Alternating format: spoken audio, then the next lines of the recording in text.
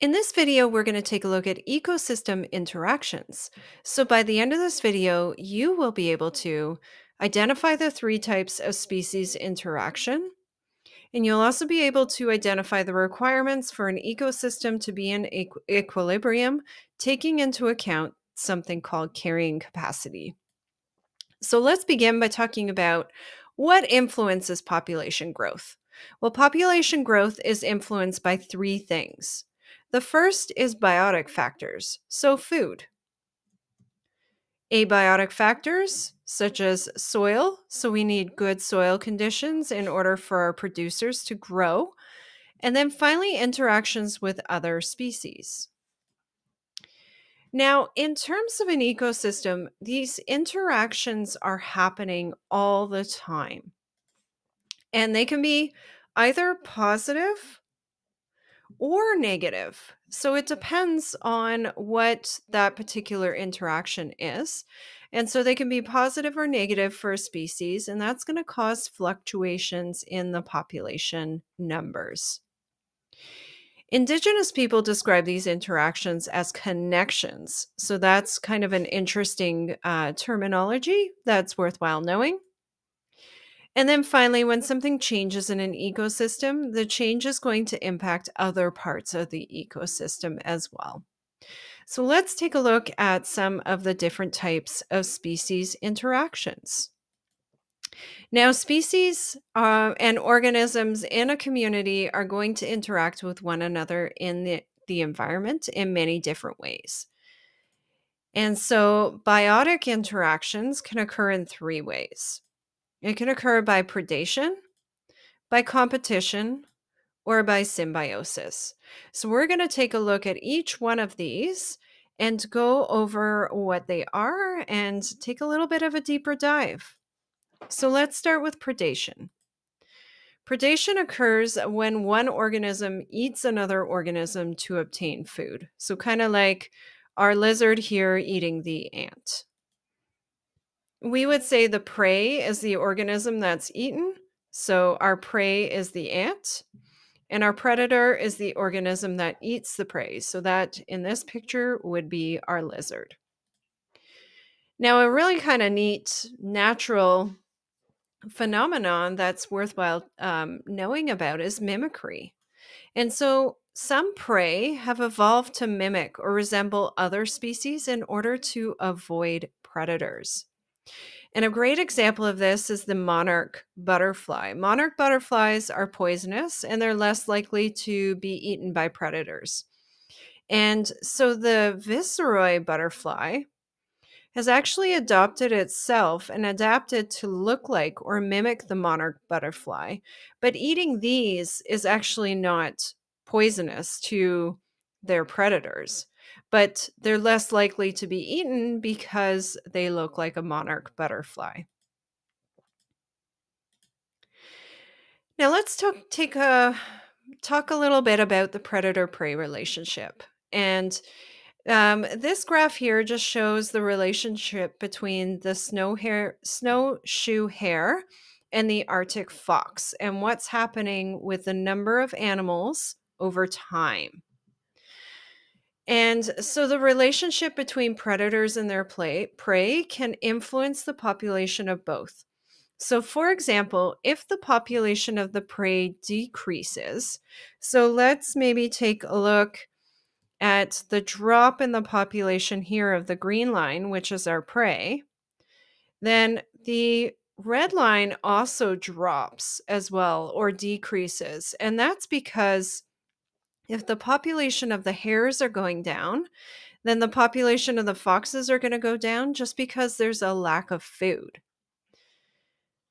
Because the predator relies on the prey as a food source, their population levels are strongly influenced by one another. Okay. And so if the prey population rises again, so in this part of the curve here, for example, it's rising again then the population of our predators also rises again. So it's really neat and interesting to look at the relationship between the two. The second type of interaction is competition.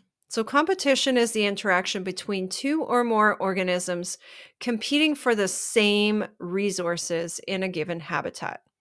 So, this could be between members of the same species. For example, like our picture here, we've got two male elephants that are competing, maybe for the same mate to try and reproduce. Or they can be between members of different species. So, raccoons and skunks both compete for the same food in a lawn. And so those are a couple of examples of competition. Now, think about this. Can you think of some resources animals or plants might be competing for? I'm going to leave you with that question there and let's continue. So, we also need this term carrying capacity because this actually goes along with competition. The size of a population that can be supported indefinitely by the resources in the ecosystem is called the carrying capacity. And so, what happens is the population for a particular ecosystem will increase.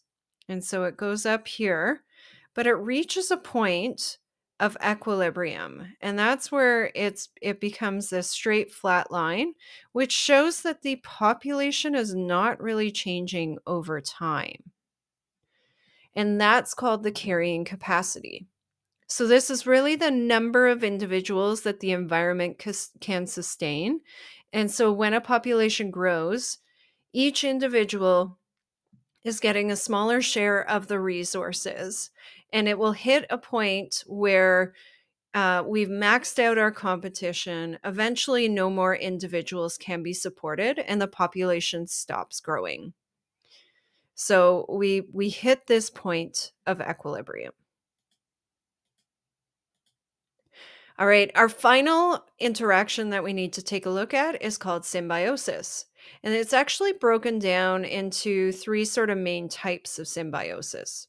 So, symbiosis in general is a relationship or an interaction between two different species in which members of one species live in, on, or near members of the other species. In mutualism, um, both species are benefiting. And so they form um, this relationship where they both benefit and they form this symbi- symbiotic uh, partnership. So, for example, birds and alligators do live in a mutualism interaction because the bird gets food from the alligator's teeth and the alligator gets its teeth cleaned by the bird. So, that's a nice example of um, a mutualism interaction. The next one is commensalism.